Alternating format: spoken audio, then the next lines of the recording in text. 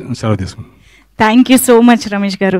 And Satyanarayana గారిని మాట్లాడవలసిందిగా కోరుతున్నాం. సో రిలీజ్ అసలు ఎలా ప్లాన్ చేస్తున్నారు? ఏమిటి అందరికీ నా హృదయపూర్వక నమస్కారాలండి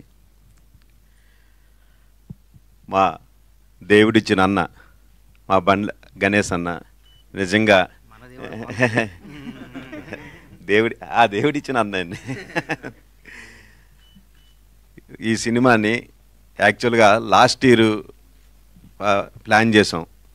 అయితే ఆ రోజు మాకు ఏ ఏమైంది అన్నారంటే మేము ఇద్దరం మాట్లాడుకుంటూ గణేష్ అన్న ఏమన్నారంటే ఇప్పుడు వద్దు నెక్స్ట్ మీరు మనం పవర్లోకి వస్తాం. పవన్ కళ్యాణ్ గారు డెఫినెట్గా పవర్లోకి వస్తాం మనం. ఆ టైంలో చేస్తే ఆ మజా వేరబ్బా ఆ కిక్కే వేరబ్బా అని ఆయన చెప్పడం. దాన్ని బట్టి యాక్చువల్గా అగ్రిమెంట్ కూడా నాకు మే వరకు ఉంది.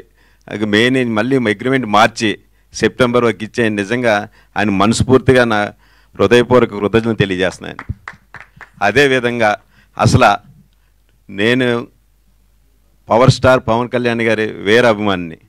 ఆ అభిమానిగా ఆ సినిమా ఎలాగ ఉండాలి మా హీరో అన్నది ప్రతి ఒక్క అభిమానిగా కోరుకుంటారు. కానీ ప్రతి సీను నేను మళ్ళా ఎప్పుడు చూస్తూనే ఉంటాను. వారానికి ఒకసారి కూడా ఈ సినిమా చూస్తూ ఉంటాను ప్రతి సీను కూడా ఎక్కడా కూడా హీరోయిజం ప్రతి సీన్ హీరో గారు ఎంటర్ కాడి నుంచి ఎండింగ్ వరకు కూడా హీరోయిజం. నిజంగా ఘనత మా డైరెక్టర్ హరీష్ శంకర్ గారికి నిజంగా మా హృదయపూర్వక కృతజ్ఞత సార్.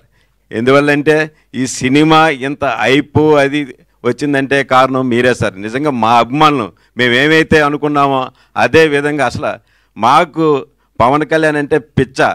అటువంటి ఏ విధంగా ఉన్నదో మీరు కూడా ఆ విధంగా తీయడం వల్ల నిజంగా అది ఇప్పటికీ పన్నెండు సంవత్సరాలు అయిన తర్వాత శ్రీ గ- గణేష్ అన్న ద్వారా నేను రిలీజ్ చేయడం దానికి ఎనలేని. ఈరోజు మీరు అసలు ఫస్ట్ డే రిలీజ్ అయిన ఫస్ట్లో రిలీజ్ అయినప్పుడు కూడా ఆ విధంగా